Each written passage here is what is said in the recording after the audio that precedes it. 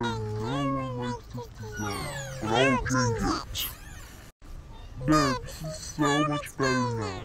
Happy Jose?